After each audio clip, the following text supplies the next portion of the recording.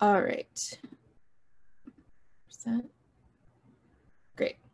So tonight's uh, training is about charting, or um, as you'll also hear us refer to it, mapping. We, we've kind of been using the two terms um, interchangeably.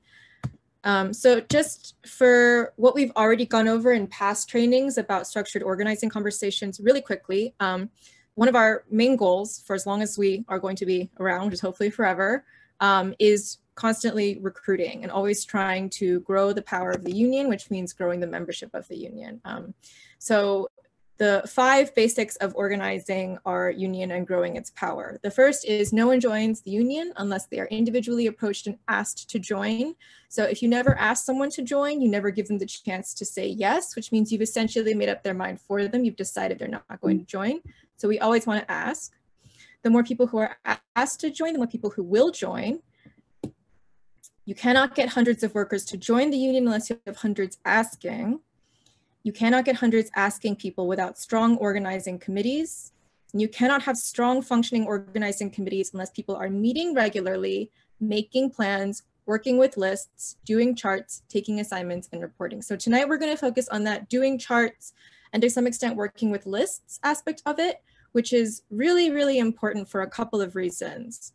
Um, the first is that it makes us approach, we're organizing our workplaces in a more deliberate and systematic way. Um, so UVA employs at least, I think, 28,000 people alone. Um, and we have school, other universities represented here tonight who I'm sure also have significant workforces. Um, oftentimes they're the largest employers in their region, um, if not if not the largest, then among the largest, right? Universities are very big employers.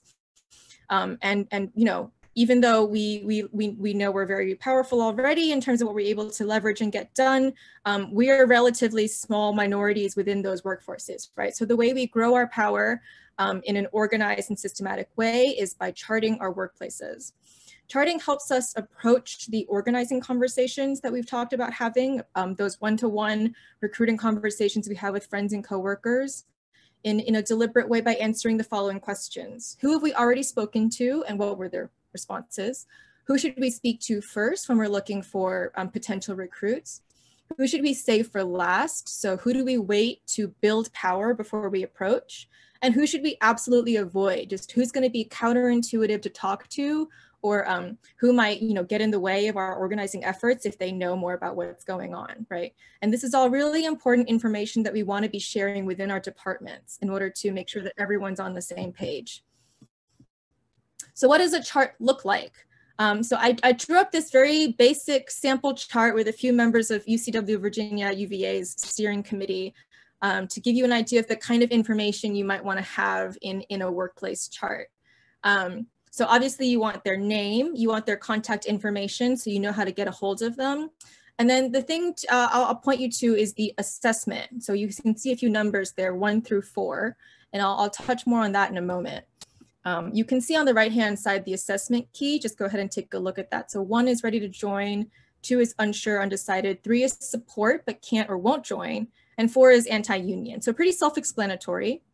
Um, the other thing that charts help us do is map social and work relationships within a department. So you want to establish, and friends can be used very loosely, right? You don't have to be like bosom buddies, but like maybe you, they go to lunch with this person constantly, or um, they always have each other's back in department meetings, or they work the same shift, right? So you can substitute friend for like circle of acquaintances, um, people who can move them or be moved by them, right? Um, and out of those friends, you probably want to select just one, maybe two point people um, to serve as their primary uh, point of contact with the union before they've joined. Um, I, I say one or two so that people don't feel like they're being inundated by like a lot of different voices um, so they don't get overwhelmed. But sometimes having a backup person is helpful, right? Um, one person talks to them and then another person maybe follows up later, gives them a sense that there's just more than one person at work in the department who's involved in the union. That sometimes can be an asset. Um, and then, you know, it's always good to have notes, you know, either for yourself or for others to just let you know where you are in the conversation. Um, also, just speaking for myself in the history department at UVA, we've had a lot of success with charts. Um, they help us hold each other accountable to recruiting. When we meet every month or so, we're able to say like, were you able to follow up with this person? Because I see you put yourself down as the point. Um, and, and that definitely has incentivized me to follow through on my promises. When I say I'm gonna talk to this person, I have to like pull myself together and actually do it because I know four or five other people are gonna ask me about it in a week or so. So um, let's see, do I have more to talk about? Is this still me or is someone else supposed to take over? Ida, do you know? I think it's still you, but while we're pausing, let me show off this actual chart. Speaking of what do charts look like, they look like this. Yes. Yeah, you definitely don't have to use uh, Google Sheets the the way we've been doing. Um, it's definitely a little bit easier in in the time that we're in right now with the pandemic. But Ida has physical charts, and if you want to get a hold of one, we'll tell you about how to do that um, in a moment. Um, so going back to that one through four assessment key, um, how do we assess our coworkers? It's, it's obviously a kind of like fuzzy process, right? Because people are complicated and people have various different reasons for maybe wanting or not wanting to join the union. But there are some basic kind of common sense ways you can approach it. The first is to definitely start with people you are close with and know well. Um, there's usually at least one or two people in your work department, even if you don't have any close friends who you might have some greater familiarity with. And if they seem like people who you can safely approach and have an organizing conversation with, definitely start with them. And from there, you can build ever expanding networks, right? This is where the friends or point person column really comes in handy because you can find out who your friends' friends are, who they may know that you've never talked to. Um, the, the important thing to remember here is that you should spend most of your time and energy focusing on twos and threes, right? Ones are the easy ones, they're the gimmies. Um, you don't want to sink too much time and energy into uh, uh, talking to them because hopefully those conversations should be very quick. You also don't want to waste too much time on fours, right? They should be a no-go, at least for now. Um, you don't need to sink a lot of time or energy trying to convince someone who doesn't really want to be convinced or who might even make your job harder for you. Um, I'll just point out that threes can sometimes be really hard and you may not always move them because they may have really like genuine problems of safety or um, other kinds of risk that they're worried about in terms of joining. I know a lot of international graduate students are really worried about uh, joining the union for visa reasons. These are legitimate. Um, in those conversations, um, and we've touched on this in other trainings before, you can always offer other ways for them to support and be involved in the union that don't involve becoming a fully fledged member um, whether that's signing uh, public petitions that we put out or showing up at in-person actions when we have them. Um, so there are ways for people to become uh, friends of the union without becoming dues paying members. Okay, great. Now I think I'm turning it over. Yes, it me. So I love that phrase you just said, Crystal, of we don't want to be spending, sinking, sinking not too much time into the ones, um, because it sets me up really well to say why not because ones are not valuable people. We do actually want to build super majorities if we want to do the kinds of power, like the kinds of powerful actions that we do want to do. We want like 90% participation in the entire workforce of UVA or 100% participation, which is everybody, including ones. But you should not worry about sinking too much of your time into ones because that is the organic leader's job. Your job is to find out who that is because they are the person who can move everyone around them, including those ones, into whatever action it is that we want to see happen. We have just collectively decided that we're going to do. So what is the organic leader? It is the person in, the, in your workplace who has people's trust and respect and who has shown themselves to, to be a leader, to be the person who, when they show up and say, sign this petition, um, you will do it. You might look into it, read up on it and then do it. Or you might say, I trust this person's opinion. I think that this is going to be worthwhile, or I think that this is something that I can believe in. And then you just do it. Identifying leaders is not, doesn't have to be and should not be guesswork or speculation. It's not who do I think people will follow. It's who has already shown this in my workplace. That's who the leader is. And I say that because um, it's it's pretty easy to get wrong at first because it's not the same as activist. So the leader in your workplace, in your department or your unit or whatever like group of people it is that you are recruiting inside of is not often the person who is the most enthusiastic about the union. That would be the activist, but the activist isn't necessarily who's respected in their workplace, who people look up to and will follow and who can um, talk to everyone in a way that makes everyone participate. The activist is just that, enthusiastic, which can be great. But in some cases, the activist is in fact so poorly respected that having them on your side kind of gives you a bad rap. So that's something to watch out for. You want the person who will move people with you, not against you. And that can happen. This is the other reason we need organic leaders. They can move people. So if you spend all of your time on getting the easy people to stand with you, do the things, and then you don't get the organic leader, you do something the organic leader doesn't like, they're going to move everyone who you previously had with you, not with you anymore. So we can't afford to not have organic leaders with us when we do things. That's why we need them. Also, so that, you know, all of us don't go crazy trying to get every single person. We need to um, let, let other people help us do, do the recruiting work. Okay, so the last point on the slide, leaders are not necessarily pro-union. In fact, they may be more likely to feel that they don't need the union was really counterintuitive for me when I first learned it. But it makes sense because these are the people who have already learned that they have power in their workplace. So they've already seen their own power in convincing people to go along with what it is that they need. Not only do they know that and can they do that for themselves, their boss knows that. So whoever is overseeing this workplace can tell who other people follow, and they will often also make sure that that organic leader is a person who is satisfied in the job because when they're dissatisfied, they can make trouble, unlike people who are less respected. So, yes, how do we find them? First of all, nobody outside of the department can look inside and tell you who the organic leader in your department is. So it's not from the outside. This is why you organize in your own workplace with your own coworkers. So if you don't already know who this is, right, so what Crystal just put in the chat, they have relatively privileged positions, they get the best shifts, their complaints are addressed. If you don't already know who this is, look for signs like that because that is a pretty good indicator. The other way to find out is asking people, who do you trust? Who do you go to for advice? Who do you, or if it's someone in the union and you are with your coworkers organizing and you're, you're like a good chunk of you are already members, they should also know what an organic leader is and what you're looking for. So ask them, who do you think the organic leader is? Put your experiences together and, and build a picture of what's going on. And the other way to figure this out is structure tests. So we're going to talk more about that in a moment. What I really want to say about this slide, how do we find organic leaders? There are two questions in here. One is, how do you know them when you see them? And the other is, how to get to see them. So this is the how do you know them when you see them? They have the privileged position, they're, they're trusted, they're respected, they move people. How do you get to see them if you haven't already? The answer to that is structure tests, which will be the segment after this in this training. So yes, so how do you know them when you see them? Let's practice organic leader identification. We are, I think, not going to go into breakout rooms for this because there's not that many of us, so we don't need to. Um, but we are going to use a set of instructions from that slide. We're there. Thank you, Crystal, put it in the chat.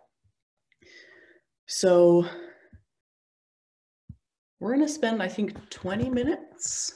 Follow that link, pull up that Google Doc. We're gonna spend 20 minutes going through it. What you'll see is a set of names. So based on what you have read in this scenario, who is the organic leader who has moved people the most?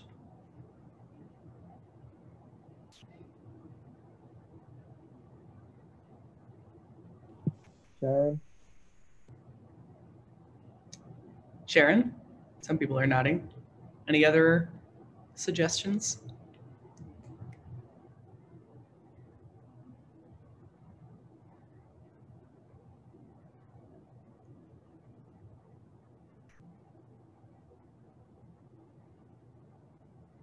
So Gabriel, why Sharon? Well, uh, she um, was able, she has the ear of the president, thinks she doesn't need the union, um, was able to make changes uh, when they tried to raise a fee, got uh, 40 members of the staff on all four campuses together in a meeting, uh, got 60% of them to sign a petition. So Yeah. Yeah, that's good. So you're using two pieces of evidence. One is she thinks she doesn't need the union, which is a sign, and the other is she are we know that she has numbers, and in fact, majority she got sixty percent. Yes, I have no problem with that answer. Um, what about the next one? So if we agree that Sharon is our organic leader, what's the order of people that we want to meet with of everybody?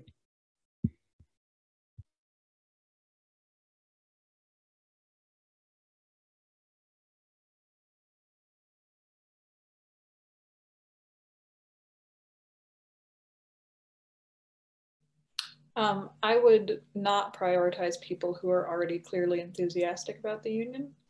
Um, so I think that means the second would be Paul Cooper, uh, just because it's he seems like he is respected and doesn't sort of have a clear pro-union stance.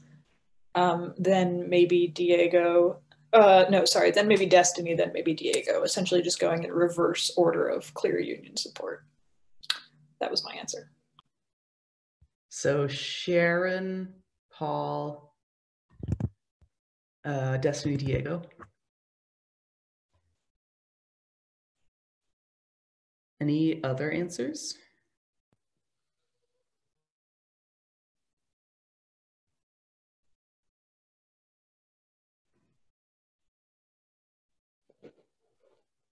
I think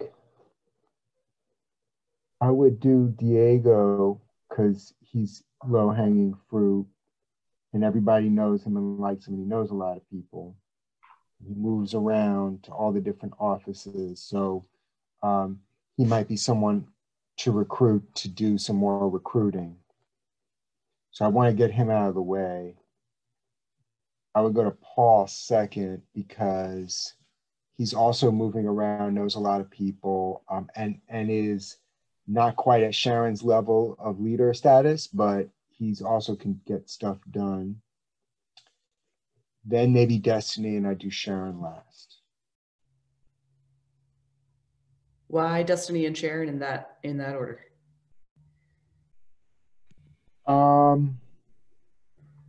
Well, Destiny is somewhat low hanging fruit in that she's like dispositionally pro union um, she's been worked for the. She's been like a rep steward. Um, she also thinks everyone's entitled to their own opinions. So she's not going to be someone who's going to move a lot of other people into my column, but she is a person I could probably move into my column. And then Sharon last. Any other answers?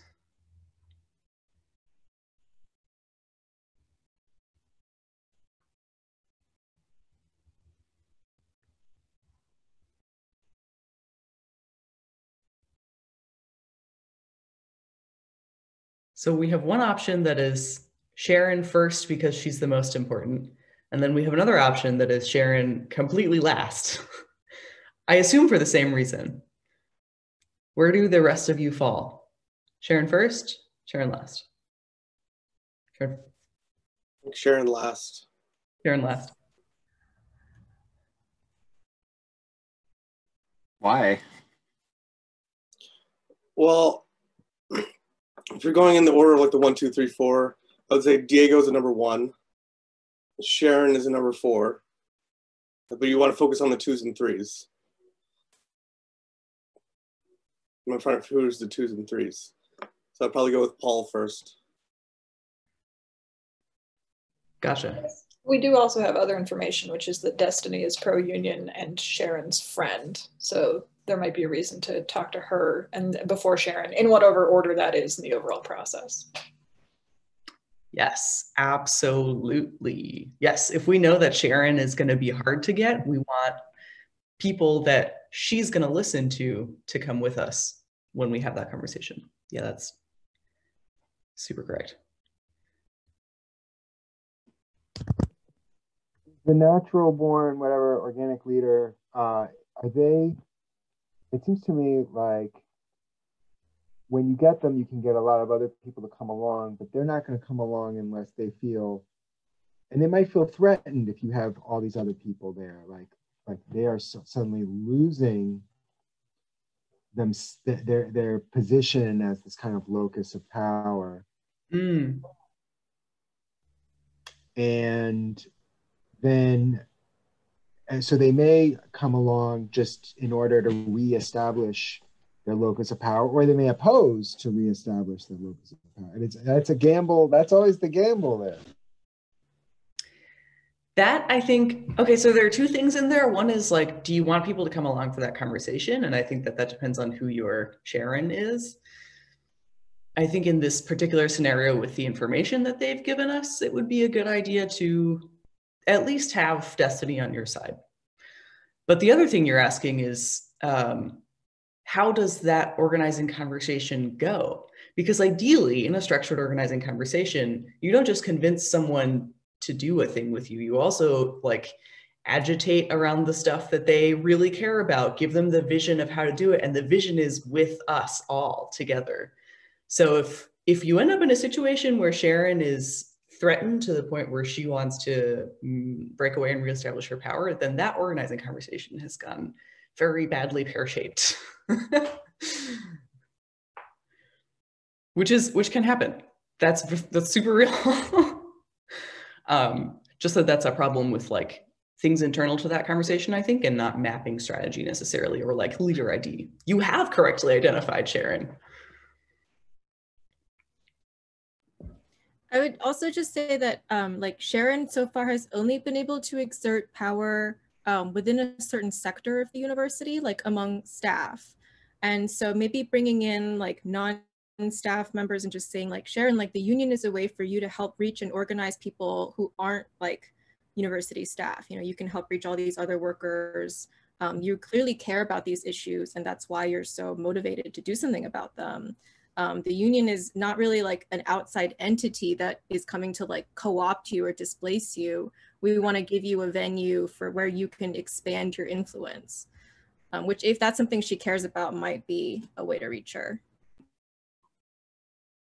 Unless she really just cares about power. But even if she really just cares about power, the avenue to greatest power is 100% participation in our actions.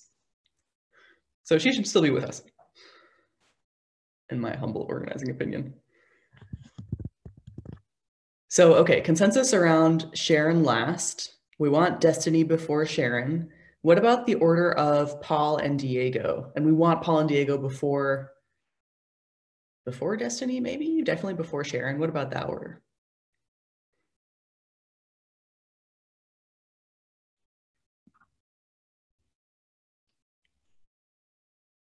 I think Paul before Diego, um, so we can gauge where Paul's at and maybe if a second conversation is required.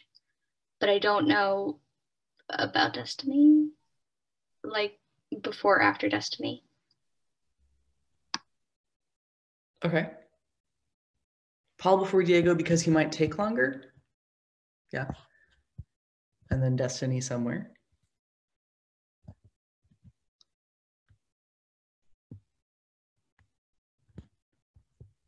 Other answers? I think someone else earlier said to do Diego first because he's already very hoorah about the union and is a very mobile employee. So he can help you spread the word. Um, so he can, he's maybe like a 10 minute conversation at the most, like just get him up to date on where you're at and then he can help you spread the word. Mm-hmm. But isn't he already going to all the union meetings and he's already kind of in, mostly involved?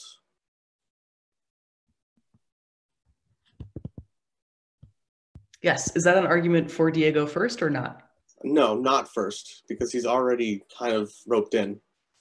But he is roped in. He's not a member yet, but he goes to all the meetings, or he is a member that's just not listed.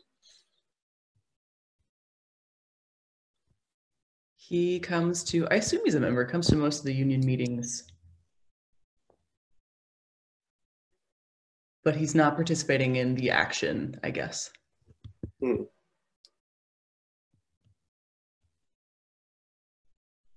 yeah, you still have to you still have to have a conversation with him. We can't just leave Diego off of off of the list. The list of ordering.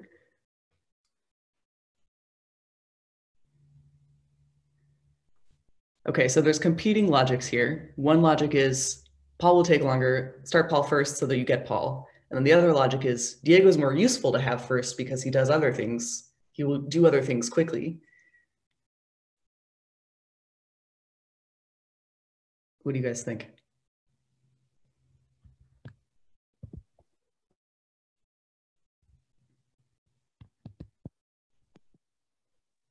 I'm still going with Diego first.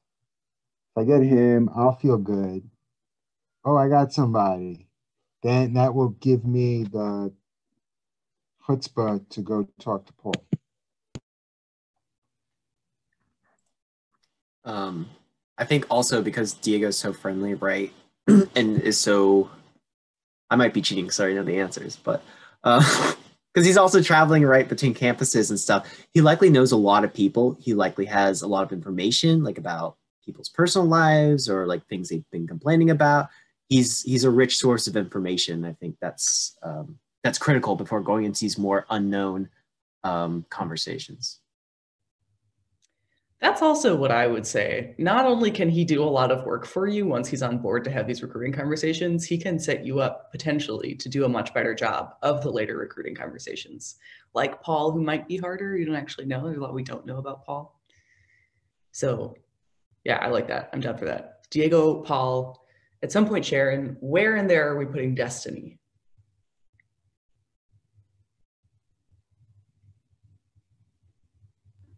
I think Phoebe had it when um, they said that Destiny should go before Sharon because the two of them have a relationship. Okay, everybody is nodding. Yeah. Yes, cool. The the other thing to notice, yeah, Paul and Destiny were interchangeable in two and three. Yeah. I would say that the thing that makes me want to put Destiny maybe the last before Sharon, so in position three, is that she must have had some reason why she stopped being as involved with the union. So there might be something there that's kind of tricky that you don't really want to walk into until you have as much information as you can possibly get before Sharon, who you really want to have as much information on as you can possibly get. So that would be why, for me, I might leave Destiny for a little later. Like when you see a potential minefield information gathering is key and part of that is charting. Part of that is organizing the information also. Okay what about this last question? What else do we want to know about each of these people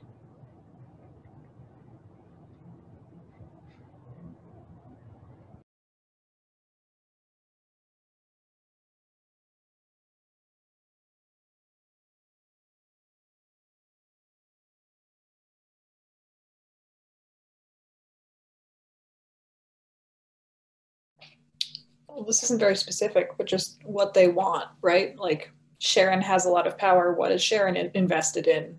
Um, things like that. Absolutely, yes. What they want out of the contract.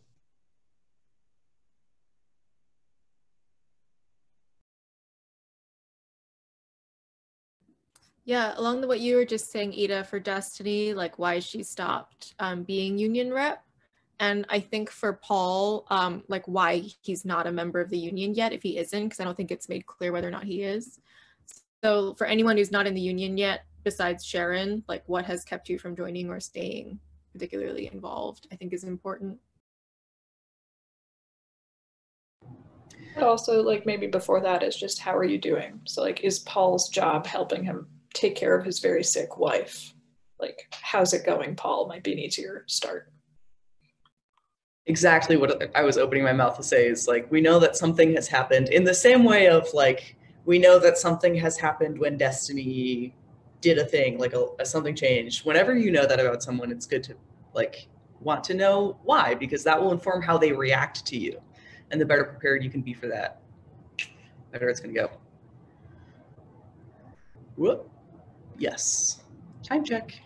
20 minutes I'm super happy with those answers. I think we can wrap that up. Anybody have questions?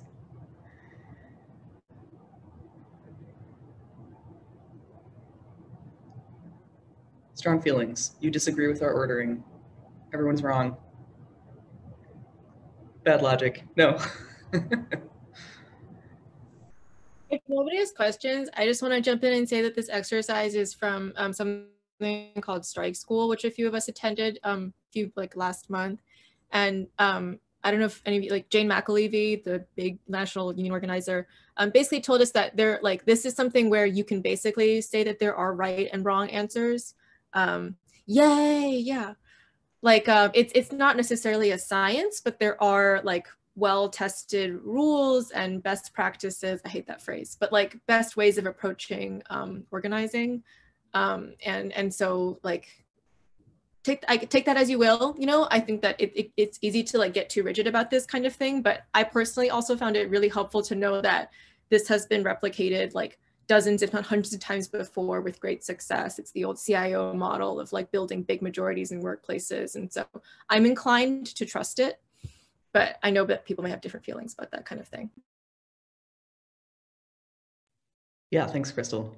I feel the same way of like, we're learning this stuff because it has worked before, maybe it's not going to work for us and we'll figure out something better, but um, it's worth learning from at least. So with that, we know what charts are, we know what they look like, we know how to ID the people on them. What do we do with those charts? I'm going to turn it over to Evan. yeah, that's a great question. Um, can we go back one slide? Thank you. Oh, no. I... Nope. There we go. Sorry, I'm I'm one of those people who doesn't do animations, but uh, likes to have a separate slide to reveal things. Um, yeah, no, thank you so much, uh, Ida and Crystal, for uh, transitioning into um, this into structure tests and providing us with so much good information.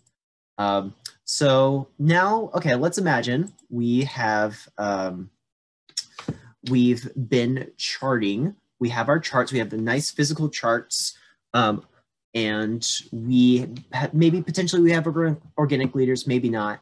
Um, but this is where the charts actually come in handy. And this is where we'll talk about structure tests. So a structure, well, first off, like, what do we mean by structure? So a structure is a place where people come together because they have to. So this is very different from um, like people who join a club because they're all interested in something. It's something they uh, they're there because they have to. Like, for example, tenants like in an apartment complex, or for here, people who work in a same place. Um, and what you want to do with a structure test, uh, you're actually testing the um, the power and the commitment of people within that structure. Um, it basically it tells you how ready people are willing to do certain actions and how uh, faithful they are to doing actions repeatedly, if that makes sense. Um, we can go into it because it's it's a very vague term, but it'll make sense, I promise. Um, so when so a structure test is something that you have that has uh, several uh, requirements. It has to be public. So this test has to be something that um, there has to be some level of risk involved.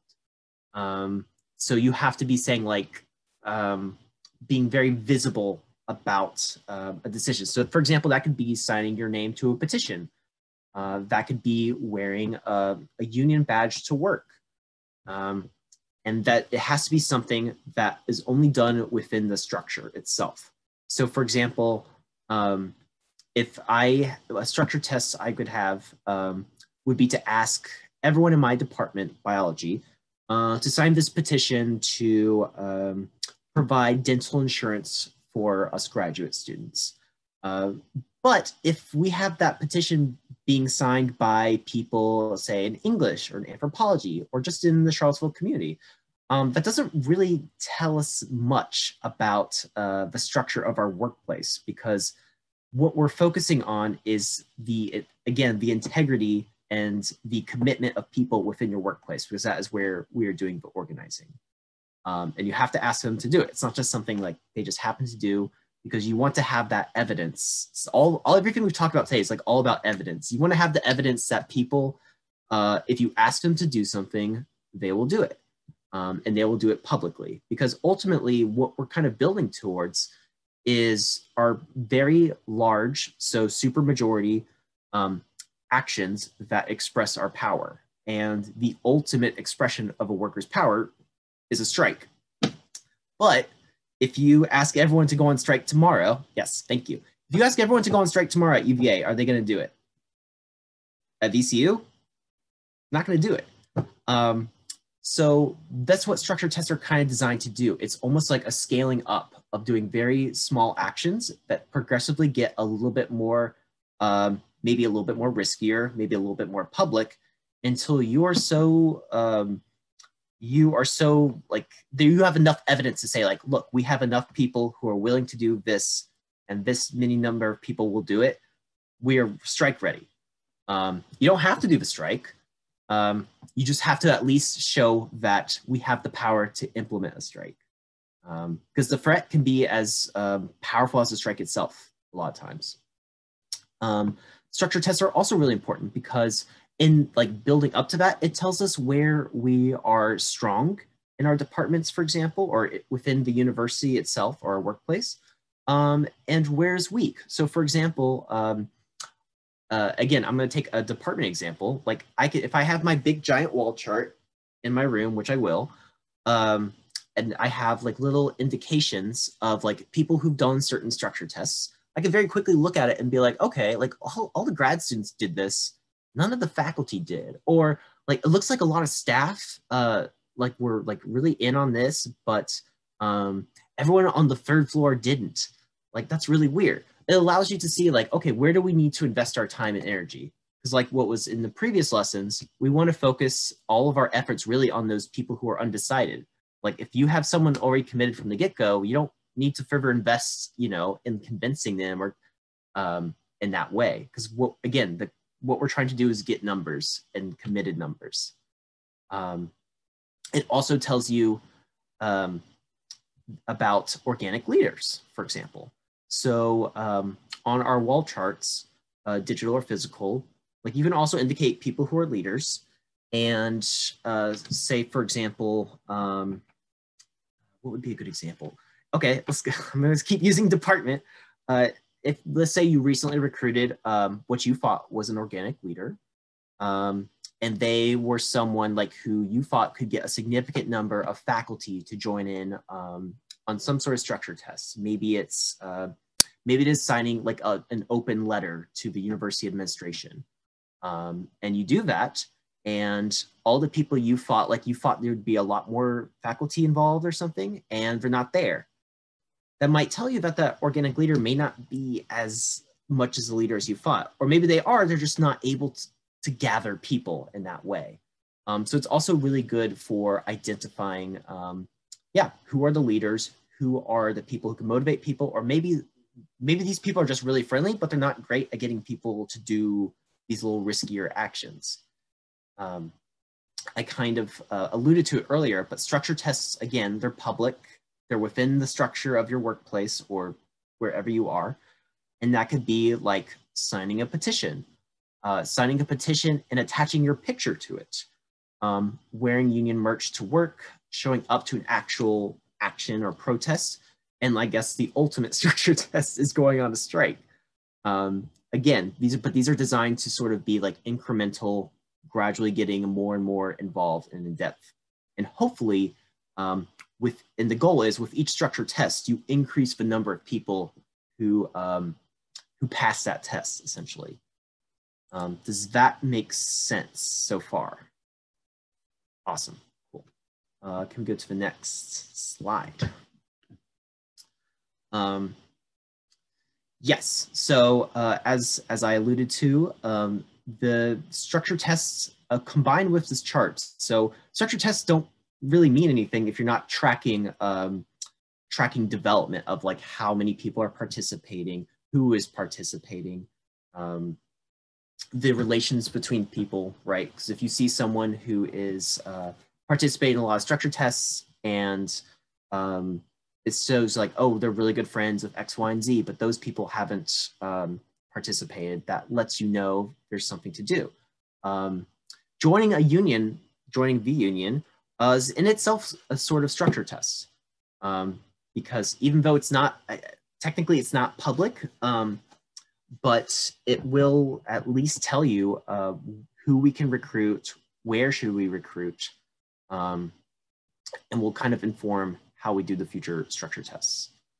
Um, yes, I've talked about who's participating in which actions, um, who is strong, who is weak. For example, that could be by floor, could be by position, um, uh, even shift, if like there's shift work, for example.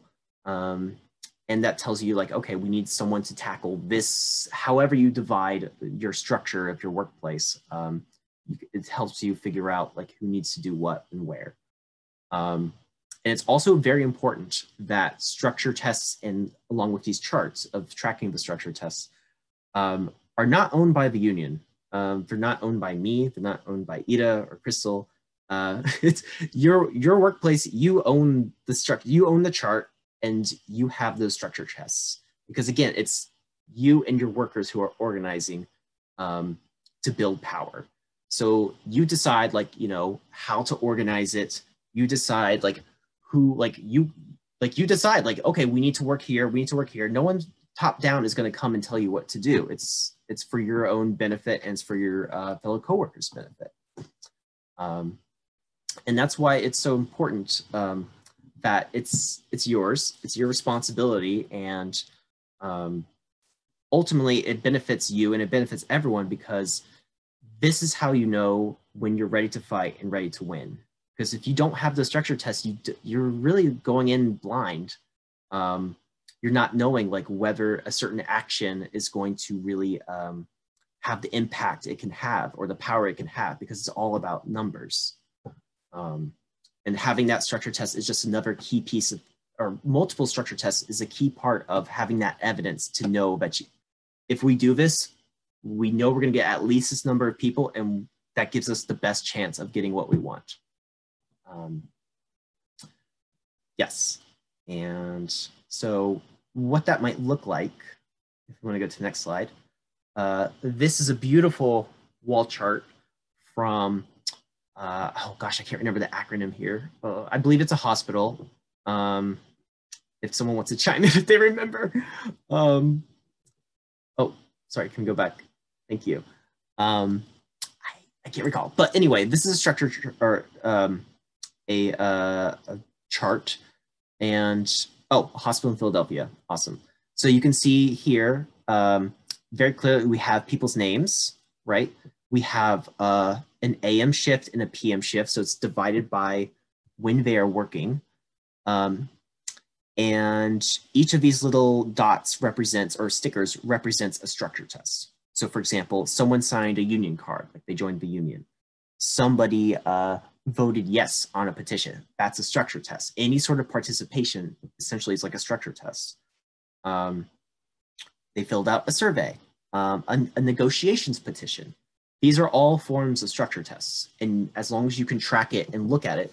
So for example, if, if someone were to look at this chart right now, uh, where would you say we need to focus on our efforts to either get people more involved in these structure tests or to you know try to get them more into the union or maybe I, or identify a leader within that um, that unit?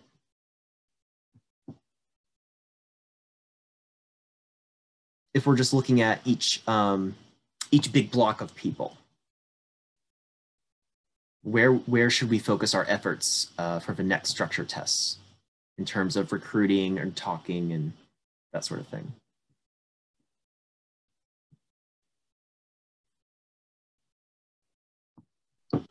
I guess both groups on the right hand side in the AM and PM shifts. Yeah, exactly. So, so yes, within this division, um, I don't know how they're particularly characterized, but you can very see, like first glance, like these two are a little different from the rest, right?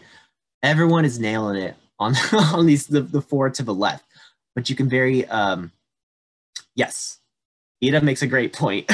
it's obvious that that's the utility of a of a uh, of a chart and with structure tests. It tells you very like we're very visual creatures. Um, it tells you where we need to focus our energy. so here, like we need to either either if we already have an organic leader, maybe they aren't the leader we thought they were, um, or maybe we haven't identified one and we should, um, or maybe there's just something in particular that is just um, that we really need to like gather more information and or start talking to people to figure out why they are not participating in these various structure tests. Um, so you can see why going back, maybe it would have made more sense to show this first, um, but why structure tests are important because it's, it shows exactly like how cohesive uh, this unit is and where our work needs to be improved. Um, and yes, so when looking at the structure test, there's like two big things you need to see is like one, the structure itself of the workplace. So that's very obvious. You have AM, PM, you have these different units, and then what you need, to, what needs to happen. Um, so it's not merely just, you know, keeping track of information. It's, it's also, it informs you of what you should be doing. Um, and that's why charts are so cool. And that's why everyone in this meeting is gonna have a physical chart and the digital one if they want. Um, yeah, do we want to go to the next slide? Oh, yes. Um, I don't know if anyone wants to talk about this in particular, but if not, I can talk about it. Um, Crystal or Ida? I just want to say that learning about leader ID and structure tests is like, for me, I'm really excited about this because this was the moment when I was like, oh, this is how we get to the win. Like I understand why I want to be in a union. I understand what I want to get from the union. I understand structure organizing conversations. And I don't quite know how to get from point here to point the last point. And then I got it. Like it's just this. You just iterate it and it tells you what you need to know. And then you do that thing that it told you. And then you do it again. I love this stuff. Yes, exactly. It's not like and this is a thing when people talk about you know what can a union do or like how much power do we actually have? Like there's a system. There's a system and it's an evidence-based system. Um, and for example like even though it makes all logical sense right? Maybe it doesn't work in real life but um, we do have countless examples of this actually succeeding. So uh, for example there was an la teachers union uh, strike i believe in oh god i can't remember the year uh, it's somewhat recently. Is that correct? Um, it was maybe three, two, three years ago. 2019. It was 2018 to 2019. Yes, so very recently. Um, so that was a 100% strike. Everyone went out and had a strike. Uh, we heard from during strike school. It's, it's incredible. Uh, think about LA, how big LA is, how big their school system is. 30, over 30,000 people, and they were able to pull this off. Um, we can do it in Richmond. We can do it at, in Charlottesville. We can do it anywhere. Um, and there's 100% turnout, right? Uh, over 75, 70,000 people sh- actually showing up to picket lines and actions. Almost 100, rounding error. Come on, 100%. um, but this is how they were able to achieve this, right? They used charts, they used um, uh, structure tests does anybody want to guess like how many structure tests they did? So this this essentially from start to finish in planning and executing took about two years, I think is what the organizers said. Um, does anyone want to guess how many structure tests they um, overall they had to lead up to the strike?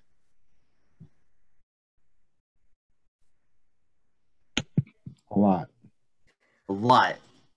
Ooh, we could do prices right rules. Does anyone want to hazard hazard So I was I was in um I used to be a teacher in New York City and I was in the union there when um Rudy Giuliani was the mayor and uh, you can guess how much fun that was and how lovely he was to teachers and there was moments of like major mobilization uh, New York also had a Taylor law, which makes it illegal for teachers to strike, but um, but not this, right? And and like the groundwork for something like this uh, was not happening. So people were angry and would come out, but there was. So I'm imagining hundreds of these stress tests that they're doing along the way, like weekly.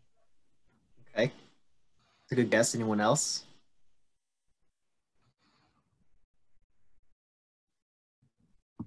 Thousands? thousands.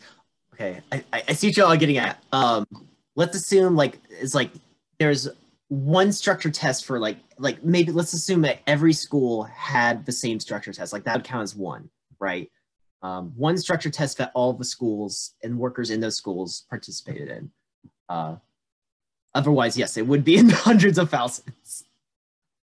But there must have been a lot that happened before that structure test because, I mean, you've also got like 30 years of bad school policies all over the country. So they were already angry, but that that's not enough. Mm-hmm. You got to have the organizing in place, the structure in place. Yeah. Um, so at least according to the organizers, um, as they p- planned this, uh, I think, and again, I'm gonna have Ida Crystal make sure I'm right. Uh, they had 12 structure tests. 12, which is it blows my mind. Um, Oh, citywide. yes, citywide. Yes, not like yeah, like 12. Individual schools structure tests. organizing, there was probably a lot like, okay, let's see if we're going to show the principal that we're all going to wear union badges today. Or, Exactly. Right. Mhm. Yes. That's why I had to clarify about number of schools and stuff. But uh, yes, 12, 12 structure tests over like the expanse of LA um, county schools. And um, which, yeah, like it, it actually, it really doesn't take a whole lot. Like they, they tell you so much information. Um, they tell you when you need to focus. And then if you, if you're right and you're organized, um, you can be strike ready in a major city with within a couple years. So what does that tell us we can do in like a smaller city Mhm. or town? The important thing to remember here is that they like went into those 12 structure tests knowing they wanted to be strike ready. So that needs to be your goal from day one as a union. Um, which which honestly can be the hardest part, especially in a state like Virginia, where even the word strike gets a lot of people scared. Um, these structure tests took place very publicly, like they told their bosses, like we're getting ready to strike, so be ready. And I Hmm. think in a state like Virginia, that can be harder. But West Virginia Teachers Union, they did the exact same thing, illegal, but in the face of you know their employers, pulled it off. I think that was 100% out, and so it can be done. Um, I don't think that we can like you know necessarily replicate what happened in LA, but there's definitely other cases for us to to learn from. Absolutely. Thank you, Crystal. Yeah. And yeah, Kentucky and Oklahoma as well. It's again, it speaks to like the power of love of this method, really. Um, and even having the threat, right, of a strike, even in an illegal place, you can't fire everyone. If you have like 98% turnout, you just can't do it. Um, I actually want to add one point to that of you can't fire everyone when you also have the community. So for me, the 70,000 people coming to the picket lines and actions is also a really significant number because it shows that it wasn't just the teachers themselves inside their workplace organizing. It was also they knew that the their communities around them that, that around the picket lines they could go into people's houses and use their bathrooms that people were bringing them snacks that they had support that people wouldn't cross the picket lines because you can fire everyone if you have that many people who will come in and take their jobs. So that's why it's also important to, um, when you do organizing conversations, when you do structure tests, to get at who else um, your coworkers know, what other community organizations they're in. That's also part of organizing. Yes, thank you, Ida. Always, yeah, eh, always a reminder humans, workers, as we are, we are multidimensional and we're not defined solely by our workplace. We have meaningful and more important connections outside the workplace that eventually, or at least in conjunction, can help us win. Um, And it takes all of us. And the way that we can't afford to not have the organic leaders, we can't afford to not have the community. We can do it. We just all have to do it together. Mhm. Um, yeah, and I think that's my, yeah, that's my section. I will say, uh, for digital charts, if anyone's interested, um, I've already made some uh, using, at least for UVA folks. Uh, Gabriel, we might have to talk about Richmond. Um, like have I have a list of like potentially like it, I don't think it's 100% of every department, but it's a substantial majority that I can send you as like a very basic, like here are people's names, uh, the building they work in, their email, their phone number, whatever is publicly available, um, that can be provided. And you can start uh, a digital chart, um, which I think I've already done for my department. So, um, oh, and Ida, you've already you've already been doing it, which is great. Um, yes, Gabriel, please let's let, uh, you can email me if, if you don't have one already. Um, we can start. This will be helpful for other people at VCU. Um, about how we can get like a nice uh, clean data set to work with uh, for other people who may be interested in this these sorts of efforts.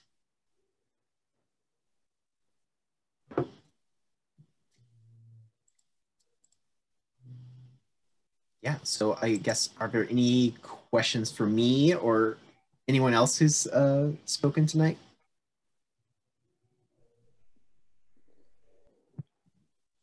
I got a question. Like the ratings of one to four, it's like, well, that seems. I mean, you're talking, I'm a researcher, so it seems hard to really figure out who's a one, two, three, four. Also, the organic leaders sometimes they're organic leaders in certain contexts and considered activists in other contexts, right? Like, yeah. So how do you figure that out? Do you have an example in mind? Uh, for the for the organic leader part, like I would say I'm kind of one in my department. I've done enough for enough people. Um, they know that I can be a pain, but I'm also like I follow through. I, I you know, but I think in terms of like the school of education as a whole, no. Hmm. And that has to do with some stuff that happened. But like, um, so you know, th- there's there's organic leaders might have their like like squad that they can kind of influence, but it doesn't necessarily go beyond that. It might be negative beyond that. How do you make that like what have you your experiences in terms of making those distinctions?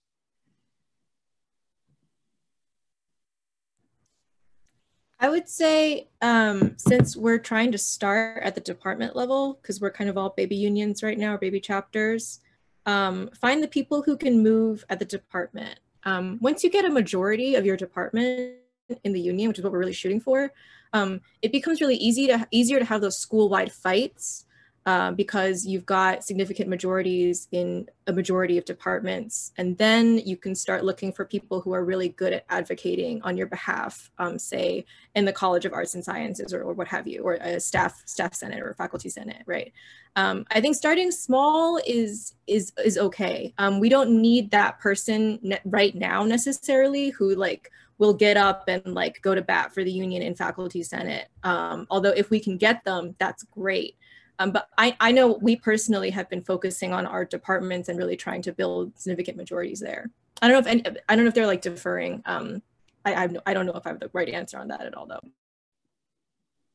I actually think that the like more restricted organic leaders, an organic leader is always going to be in a particular context. Like whether that context is the whole workplace, all of UVA, or it's something smaller, or it's a faith community or whatever, like an organic leader is in something, some chunk of people.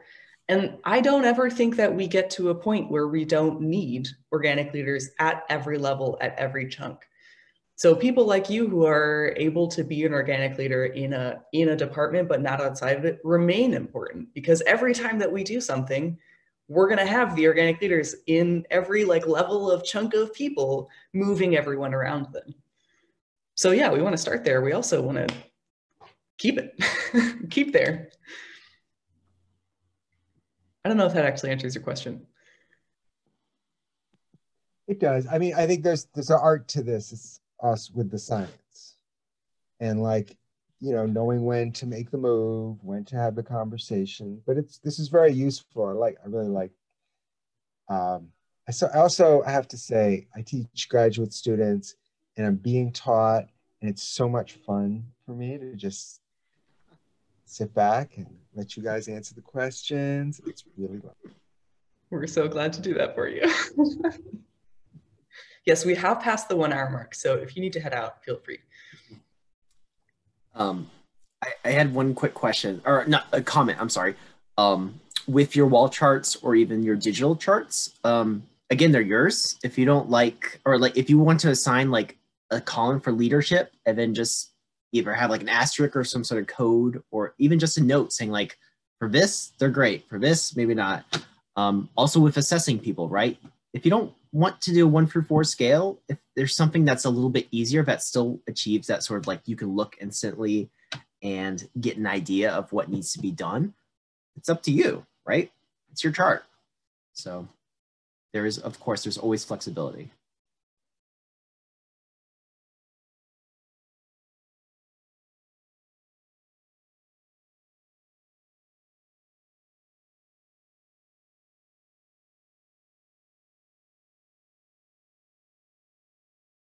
Oh, cool. Are there any more questions?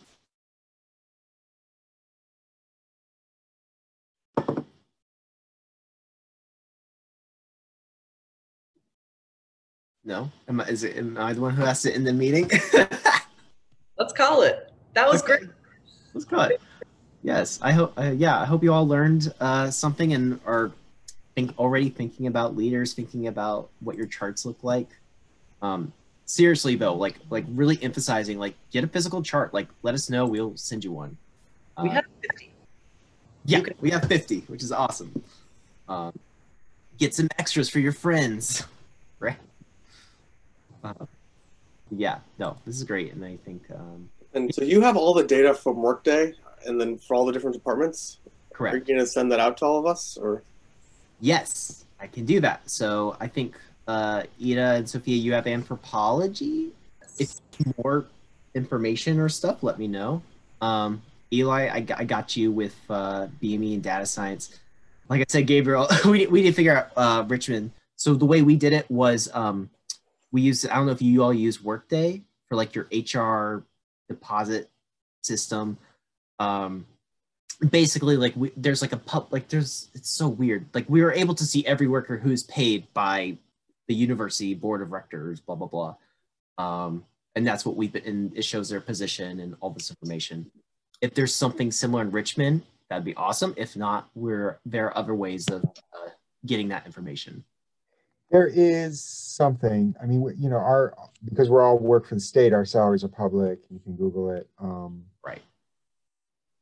so yeah, okay I'm in a smaller unit too, because we're a department, but we're also in a school of ed. It's not huge. We're on one building. I know everybody. Everybody knows each other. well that's yeah like if yeah that's even better right like you just Yeah. it sucks, but you can just go to the, you know, the the website and just look up everyone and Yes. I'll just say one last thing. If you do end up doing what we did, which is like using some kind of script to scrape whatever system you use for names and info, um, I would just encourage people to copy paste that information for their respective departments and put it somewhere private so that you're not broadcasting membership information on a publicly shared spreadsheet. I know people have been doing some of their charting on the spreadsheet I just shared, and I'm going to go nudge them to go take that somewhere else just because that's like proprietary information that no one else in the union even really needs to know. And sometimes you'll share like department dirt and stuff like that, and that's just not something that like we care to get out.